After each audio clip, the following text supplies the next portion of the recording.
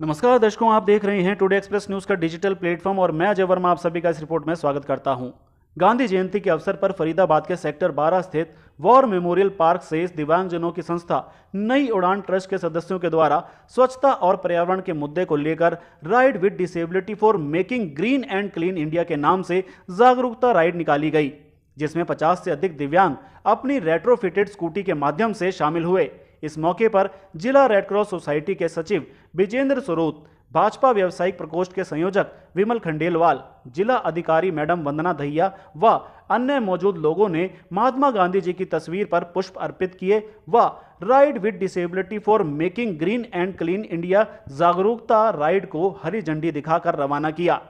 वहीं रैली को रवाना करने से पहले मीडिया से बातचीत करते हुए मौजूद लोगों ने बताया कि गांधी जयंती के अवसर पर लोगों में स्वच्छता और पर्यावरण के प्रति जागरूकता फैलाने के लिए इस विशेष राइड रैली का आयोजन किया गया है, जिसके तहत वह वॉर मेमोरियल पार्क से शुरुआत करते हुए फरीदाबाद के विभिन्न क्षेत्रों से होते हुए दिल्ली के सुभाष नगर पहुँचेंगे। वहीं जहाँ जहाँ से वह गुजरेंगे, स्वच्छता और पर्यावरण के प्रति लोगों को जागरूक करेंगे।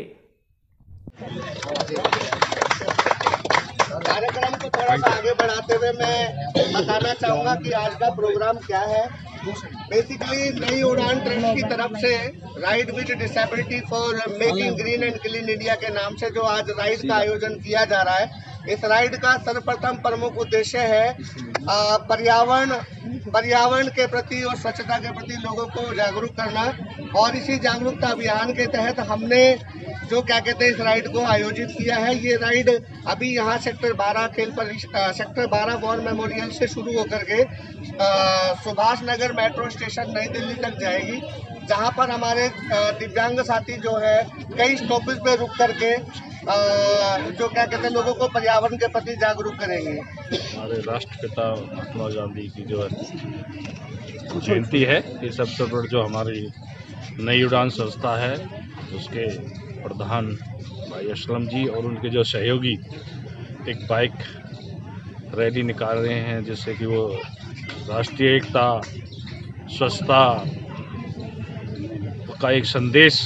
जो हमारे देशवासियों को देने जा रहे हैं तो मैं इनका बहुत ही हार्दिक धन्यवाद करता हूँ कि इसी तरह ये एकता का संदेश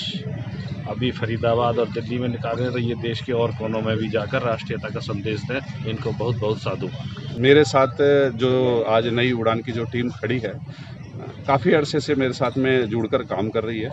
सभी मेरे भाई हैं और मोहम्मद असलम जो इसके अध्यक्ष हैं तो मैं उनको विशेष रूप से धन्यवाद देना चाहूँगा कि इन्होंने इतना शानदार संगठन दिव्यांगों का खड़ा किया और सबसे बढ़िया ना खड़ा किया इन्होंने। शहर के ऐसा कोई भी प्रोग्राम नहीं होता कि जिनके पास में इनके पास में इनविटेशन हो और ये ना जाएँ। आपने देखा होगा कि डिसेबिलिटी होने के बावजूद भी मेरे को लगता है कि जो सा, जो सामान्य व्यक्ति है उससे ज़्यादा इनके अंदर ऊर्जा होती है और बहुत ही ज़्यादा इनके अंदर उत्साह होता है और आज जो समाज के लिए काम करने जा रहे हैं जागरूकता का। आज हमारे राष्ट्रपिता महात्मा गांधी जी का जन्म जयंती है और उसके उपलक्ष्य में दो अक्टूबर का दिन है और सेवा पखवाड़ा चल रहा है। सभी जगह, आपने देखा होगा, सब जगह कुछ ना कुछ गतिविधि चल रही है, पर मेरा दिव्यांग भी इसके अंदर पीछे नहीं है। तो आज जो ये राइडिंग जो निकालने जा रहे हैं और समाज को जो जागरूक करने जा रहे हैं, मैं और मेरी व्यक्तिगत भाजपा परिवार की तरफ़ से, समाज की तरफ़ से इनको पूरी बहुत बहुत बधाई देना चाहता हूँ कि आपको कभी भी आवश्यकता न हो, किसी भी प्रकार की हो, हम आपके साथ में खड़े हुए हैं।